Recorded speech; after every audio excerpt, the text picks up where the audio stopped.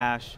It's, you know, what will that mean to, to my investment? And the announcement with Fusion-io is that you know, we're 25 times faster on read-intensive HBase applications, the combination. So as organizations are deploying Hadoop and they're looking at technology changes coming down the pike, um, they can rest assured that they'll be able to take advantage of those uh, in, in, a much more aggressive fashion with MapR than, than other distributions.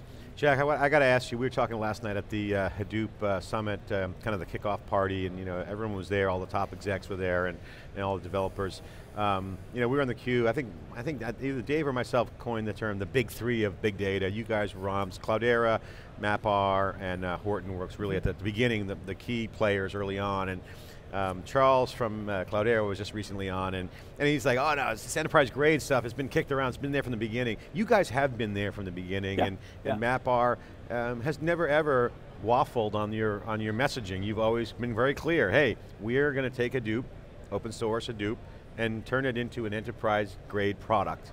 Right? So that's clear, right? That's, yep. that's you, that's, agreed.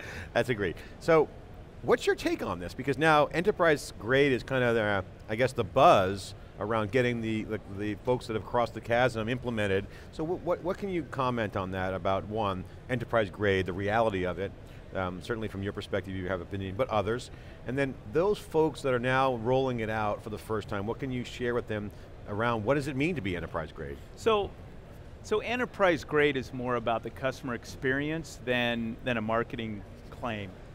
And uh, you know, by enterprise grade, what we're talking about are some of the, the capabilities and features that they've grown to expect in their, their other enterprise applications. So, you know, the ability to meet full S, uh, SLAs, full HA, uh, recovery from multiple failures, uh, rolling upgrades, data protection with consistent snapshots, business continuity with mirroring, the ability to share a cluster across multiple groups and have you know, volumes. I mean, there's a, there's a host of features that fall under the umbrella enterprise grade. And when you move from no support for any of those features to support to a few of them, I don't think that's going to, to HA. It's more like moving to low availability. Uh, and, and there's just a, a lot of differences in terms of when we say enterprise grade, what those features mean, versus um, what, what we view as kind of an incomplete story. So describe, what do you, what do you mean by low availability? Well, I mean, it's tongue in cheek, it's nice, it's a good term. It's, that, it's really saying, you know, just available um, when you, sometimes. Uh, is that what you mean? Is it like, that's not true availability? I mean, availability is 99.9%. Right, right. So if you've got a, an HA solution that can't recover from multiple failures, that's downtime. Uh, if you've got an HBase application that's running online and uh, you have data that goes down and it takes 10 to 30 minutes to have the region servers recover it from another place in the distribution, that's downtime. Uh, if you have snapshots that aren't consistent across the cluster, that doesn't provide you know, data protection. There's no point in time recovery for, for a cluster. So you know, there's a lot of details underneath that, but what it, what it amounts to is, do you have interruptions? Do you have downtime? Do you have the potential for losing data? And our answer is uh, you need a series of features that are hardened and, and proven to deliver that. And what about um, recoverability? You mentioned that. You guys have done a lot of work in that area with snapshotting. That's kind of being kicked around. Are, are folks addressing, what are the comp what's your competition doing in those areas of uh, recoverability? You just mentioned availability, okay, got that. Recoverability, okay. security, compliance, and usability, those are the areas that seem to be the hot focus areas what's going on in the industry? How would you give them the grade, the letter grade, if you will, um, candidly, compared to what you guys offer? Well, the, the first of all, let's take recoverability. Um, you know, one of the tenets is you have a point in time recovery, the ability to restore to a previous point that's consistent across the cluster. And right now there's, there's no point in time recovery for, uh, for HDFS, for the files, and there's no point in time recovery for uh, HBase tables. So there's snapshot support that's being talked about in the open source community uh, with respect to snapshots, but it's being referred to in the JIRAs as fuzzy snapshots and really compared to copy table. So, uh, Jack, I want to turn the conversation to the kind of the, the a topic we've talked about before, kind of the open versus uh, proprietary. Mm -hmm. That that whole debate. We've we've we've heard about that. We've talked about that uh, before here on the Cube. So, uh, just kind of reiterate for us your take. I mean, we we hear perhaps because of the show we're at, there's a lot of talk about the open sourced um, nature of Hadoop. And some of the purists, as you might call them, are saying it's got to be open source 100%, uh, Apache compatible, et cetera. And then there's others that are taking a different approach. Explain your approach and, and why you think that's the key way to make, uh, to really spur adoption of Hadoop and make it well, an enterprise grade I mean, we, we're, we're a part of the community. Mm -hmm. um, uh, we're, uh, we've got you know, commitment going on, we've you know, pioneered and, and pushed a Apache drill, -hmm. um, but we have done innovations as well, and I think that um, those innovations are really required to support and extend the, the whole ecosystem. So um, Canonical distributes uh, our M3 di uh, distribution. Uh, we've got, you know, all our, our packages are, mm-hmm. are available on GitHub and in open source. So it's not, it's not a binary um, uh, debate. And I think the, the point being that there's uh, companies that have jumped ahead and now the peloton is is you know pedaling faster and and will will catch up, will streamline. I think the difference is we re-architected, so we're basically in a race car and um, you know are are racing ahead with with enterprise grade features that, that are required, and there's a lot of work that still needs to be do, needs to be accomplished before that full re-architecture is, is in mm -hmm. place. Mm -hmm. Well, I mean, I think uh, for me, the proof uh, is really in the pudding when, you, when it comes to talk about customers that are doing real things and real production grade, mission critical applications yep. that they're running. Um, and to me, that shows uh, the success or, or relative success of a, of a, given approach. So uh, I know you guys are working with companies like Ancestry.com, uh, Live Nation, Quicken Loans. Maybe you could, could you walk us through a couple of those scenarios? Let's take Ancestry.com. Obviously they've got a huge amount of data sure. based, based on the kind of genealogical information. What are you guys doing with them? Yeah, so they've got, I mean, they've got the, the world's largest uh, family genealogy services available on the web. Uh, so there's a, a, massive amount of data that they make accessible and, and uh, you know, ability for, for analysis. And then they've rolled out new features and new applications, one of which is to uh, ship a kit out, have people spit in a tube, return back, and they do DNA matching oh. and reveal uh, additional details. So really some really fabulous leading edge things that are being done with, with uh, the use of, of Hadoop. Interesting. So, um, talk about when you went to uh, to work with them. What were some of their key requirements? Um, was it around? Was it more around the enterprise grade security and uptime kind of uh, equation, or was it more around some of the analytics? Well, what's, what's the kind of the killer uh, use case for them? It's kind of a it, you know it's it's hard with a specific um, company or even you know to generalize across companies because they're really three main areas in terms of ease of use and administration. Mm -hmm uh, dependability, which includes the full HA, and then and then performance. And in some cases, it's it's just one of those that kind of drives it and, and is used to justify. In other cases, it's kind of a collection. Mm -hmm. um, the ease of use is being able to to use a cluster not only as Hadoop, but to access it and treat it like enterprise storage. So it's mm -hmm. a mm-hmm. complete POSIX compliance file system underneath that allows the, the uh, mounting and access and updates and using it in dynamic read-write. So what that means from an application level, it's, it's faster, it's much easier to administer, and it's much easier and, and reliable for developers to, to utilize. Mm -hmm. Jack, I got to ask you about the marketing question, because obviously, you know, MapR, you guys have done a good job uh, marketing. Certainly we want to be thankful to you guys as uh, supporting theCUBE in the past, and you guys have been great supporters of our mission. Um, but now the ecosystem's evolving, a lot more competition. Cloudera mentioned there's eight companies they're tracking in quote Hadoop, and certainly Jeff and I and, and SiliconANGLE want to look at it. There's a lot more because uh, Hadoop washing has been going on now for, yeah, the term Hadoop washing means jumping in and doing Hadoop mm -hmm. and slapping that onto an existing solution. It's now been happening full, full, full bore for a year at least. What's the next for you guys to break above the noise? Obviously, the communities are, are very uh, active, projects are coming online, you guys have your mission in the enterprise. What's the strategy for you guys going forward? Is it more of the same? Anything new you can share?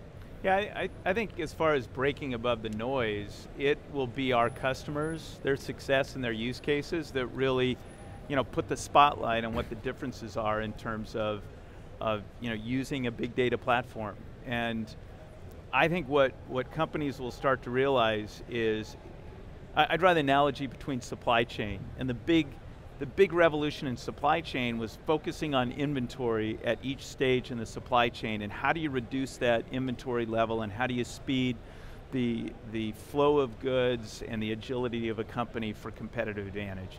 And I think we're going to view data the same way. So companies, instead of raw data that they're copying and moving across you know, different silos, if they're able to process data in place and send small result sets, they're going to be faster, more agile, and more competitive. And that puts the spotlight on what data platform is out there that can support a broad set of applications and can have the broadest set of functionality. So, you know, what we're delivering is a mission grade, you know, enterprise grade, mission critical support platform that supports MapReduce and does that high performance, provides NFS, you know, POSIX access, so you can use it like a file system, integrates, you know, enterprise grade NoSQL applications, so now you can do, you know, high speed, consistent performance, real-time operations in addition to batch, streaming, integrated search, et cetera. So it's, it's really exciting to provide that platform and have organizations transform what they're doing. How's the feedback going with Ted Dunning? I've been seeing a lot of buzz on the Twitter sphere. He's getting positive feedback here. He's a, uh, a tech athlete, he's a guru, he's an expert. He's got his hands in all the pies. He's a scientist type. Um, what's he up to? What's his, uh, you know, what's his role within MapR? And he's obviously playing in the open source community. What's yeah. he up to these days? He's, he's our chief application architect. He's on the leading edge of, of Mahout, so machine learning. Uh, so, uh, you know, sharing insights there. He was uh, speaking at the Storm meetup uh, two nights ago and sharing how you can integrate long-running batch predictive analytics with real-time streaming and how the use of snapshots uh, really makes that, that easy and, and possible. Um, he travels the world and is, is helping organizations understand how they can take some very complex long-running processes and really simplify and shorten those. I had a chance to meet him in New York City at last Hadoop World uh, at, a, at a, a, a, party, and great guy, fantastic uh, geek, and you know, certainly he's doing great work, and a shout out to Ted, congratulations, continue up that support. Um, how's everyone else doing? How's uh, John and Travis doing? How's the team at MapR? Uh, we're we're Pedaling busy, as fast as you can, growing, growing quickly. Uh, no, we're just shifting gears. we're, we're, beyond pedaling. Yeah, you're in the engine. You know. Cool. Yeah, give, give, us an update on the company in terms of how, the growth and uh, kind of where you guys are moving next. Yeah, we're we're expanding worldwide. Uh, you know, just this uh, you know last few months, we've opened up offices in in London and Munich uh, and Paris. Um, we're expanding in Asia, Japan, and, and Korea. Um, so our, our sales and services and engineering and basically across the whole company continues to expand rapidly. Um, some really great, interesting partnerships and, um, and a lot of growth, not only as we add customers, but it's, it's nice to see customers that continue to, to really grow their use of MapR within their organization, both in terms of the amount of data that they're analyzing and the number of applications that they're bringing to bear on the platform. Talk about that a little bit because I think you know one of the one of the trends we do see is when a company brings in big data, a big data platform, they might start experimenting experimenting with it, build an application, and then maybe in the maybe in the marketing department, and then the sales guys see it and they say, well, maybe we can do something with that. How, how is that typically the kind of the experience you're seeing, and, and how do you support companies that want to start expanding beyond those initial use cases to support other departments, uh, potentially even other uh, you know physical locations around the world? Yeah. How do you how do you kind of well the support the, that? the beauty of that is if you have a platform that can support those new applications. So if you know mission critical uh, workloads are not an issue, if you support volume so that you can logically separate, makes it much easier, which we have. Um, so one of our customers, Zions Bank, um, they brought in MapR to do fraud detection, and pretty soon the fact that they were able to collect all of that data, they had other departments coming to them and saying, well, hey, we'd like to use that to do analysis on because we're not getting that data from our existing systems. Yeah, they come in there, you're sitting on a gold mine there for, for the, exactly. some of our use cases. Um, you also mentioned kind of as you're expanding internationally, what is your take on the international market uh, for big data and Hadoop specifically? Um, you, is, is the US kind of uh, leaps and bounds ahead of uh, the rest of the world in terms of adoption of the technology? What are you seeing out there in terms of uh, where, where the rest of the world I, I, I, wouldn't say leaps and bounds. Um, and I think uh, internationally they're able to maybe skip uh, some of the experimental Mm. steps. Um, so we're seeing we're seeing deployment across financial services and telecom, and um, geez, it's it's fairly broad. Recruit uh, Technologies, they're uh, the largest provider of uh, recruiting services. Indeed.com is one of their subsidiaries. Uh, they're doing a lot with with Hadoop and MapR specifically. So it's uh, it's it, it, it's been it's been expanding rapidly. Fantastic. So, uh, yeah, also, you know, when you think about Europe, with what's going on with Google and some of the uh, the, the privacy concerns, even here, I should say, um, is there are there different regulatory environments you've got to navigate when you're talking about data and how you use data when you're starting to expand to other other locales? Yeah, there's um, typically by vertical. There's different uh, Okay. you know different requirements. Uh, HIPAA and healthcare and Basel II and financial services, and so all of those, and it, it it, it basically it's the same theme of when you're bringing Hadoop into an organization and into a data center, the same sorts of concerns and requirements and, and privacy that you're applying in other areas will be applied on Hadoop. Um, now, kind of turning back to the technology, you mentioned Apache Drill. I'd love to get an update on uh, kind of where you, where that stands. Um, you know, put and put that into context for people. We hear a lot about Yeah. the SQL on Hadoop question here. Um, where does Drill fit into that into that equation? Well, the, the you know, there's a lot of different um, approaches to provide SQL access. Uh, a lot of that is driven by how do you um, how do you leverage some of the talent in organization that you know speak SQL. Uh, so there's developments with respect to Hive. You know, there's other projects out there. Apache Drill is an open source project, getting a lot of community involvement, and the design center there is pretty interesting. It started from the beginning as an open source project, uh, and two main uh, differences. One was in looking at supporting SQL, it's let's do full ANSI SQL. So it's full 2003 ANSI SQL, not a SQL-like. And that'll support the greatest number of applications and you know avoid a lot of support and, and uh, uh, issues. And the second design center is let's support a broad set of data sources. So uh, nested uh, sources like JSON, schema on discovery, it's basically fitting it into an enterprise environment, which sometimes is kind of messy and can get messy as acquisitions happen, et cetera. So it's complementary, it's about you know, enabling interactive, low latency queries. Jack, I want to give you the final word. We're on, on our, out of time. Thanks for coming on theCUBE. Really appreciate it. Great to see you again, uh, CUBE alumni. But final word, and we'll end the segment here uh, on theCUBE, is your quick thoughts on what's happening here at Hadoop World. What is this show about? Share with the audience what's the vibe, the summary, quick soundbite on Hadoop. Yeah, I, I think I'll go back to how we started. It's not if you use Hadoop, it's how you use Hadoop, and you know, look at not only you know the first application, but what it's going to look like in multiple applications, and pay attention to what enterprise grade means. Okay, was theCUBE. We got uh, more coverage coming. Uh, Jack Norris with MapR, obviously one of the big three, original big three still on the, on the list in our mind, and the market's mind with a unique approach to Hadoop, and they've been doing great. This is theCUBE, I'm John Furrier with Jeff Kelly. We'll be right back after this short break.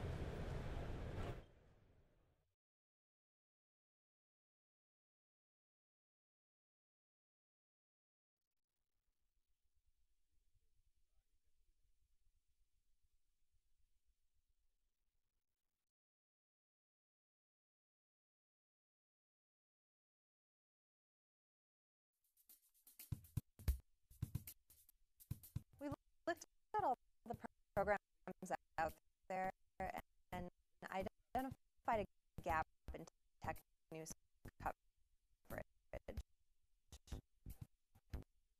There are plenty of tech shows that provide new gadgets and talk about the latest in gaming, but those shows